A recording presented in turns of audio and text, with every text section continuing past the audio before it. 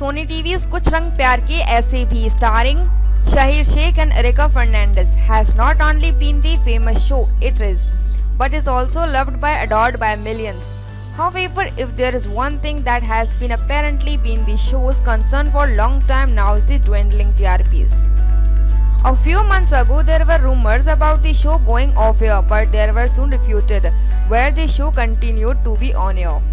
Rumors started surfacing a lot more than usual. So there is no confirmation on whether the show is going off air or not. The producers assures otherwise. Recently, producer Mamta Yash Patnaik tweeted something which has apparently her husband and co-producer Yash Patnaik's statement. Kuch Rang is not going off air anytime soon. We sure guys are you happy? For more update, please subscribe.